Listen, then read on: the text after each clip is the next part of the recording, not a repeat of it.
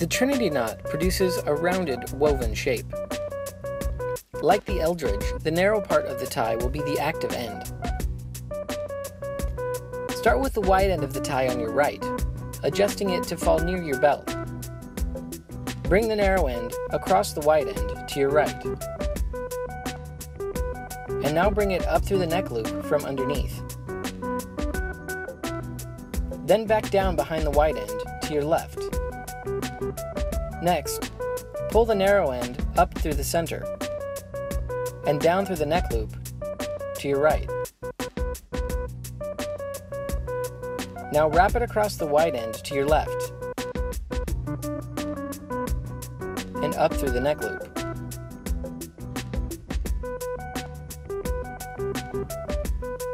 And bring it down through the knot loop.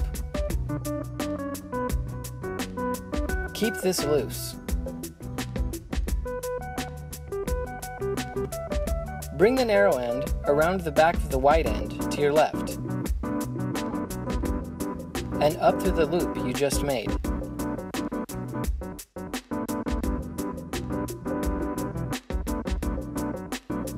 Gently adjust and tighten the knot.